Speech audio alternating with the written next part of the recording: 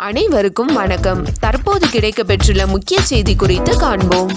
வந்தே பாரத் திட்டமானது இந்த ஆண்டு இறுதி வரையிலும் நீடிக்கும் என அறிவிப்பு வெளியிடப்பட்டு இத்திட்டத்தின் மூலம் இயக்கப்படும் விமானங்களுக்கான முன்பதிவினை பயணிகள் செய்து கொள்ளலாம் என்று சமீபத்தில் ஏர் இந்தியா மற்றும் ஏர் இந்தியா எக்ஸ்பிரஸ் விமான நிறுவனங்கள் தெரிவித்திருந்தன.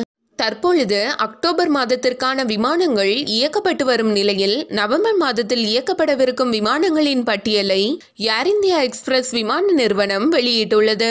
விமான நிறுவனம் வெளியிட்டுள்ள விமான பட்டியலின்படி அமீரகத்தில் துபாய் அபுதாபி மற்றும் ஷார்ஜாவிலிருந்து தமிழகத்தின் சென்னை மதுரை மற்றும் திருச்சி ஆகிய நகரங்களுக்கு விமானங்கள் அறிவிக்கப்பட்டுள்ளது.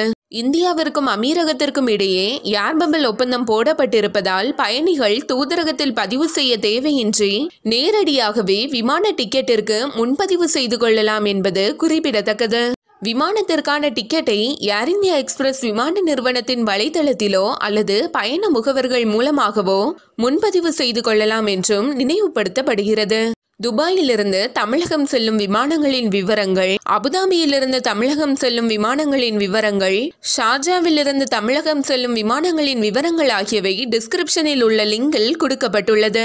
உங்களுக்கு ஆண்ட்ராய்ட் தமிழ் நியூஸ் சேனலோட முக்கிய செய்திகள் பிடித்திருந்தால் லைக் பண்ணுங்க சப்ஸ்கிரைப் பண்ணுங்க உடனுக்குடன் செய்திகளை அறிந்து கொள்ள பக்கத்தில் இருக்கக்கூடிய பெல் ஐக்கானை கிளிக் பண்ணுங்க. உங்கள் ஆதரவு எங்களுக்கு தேவை.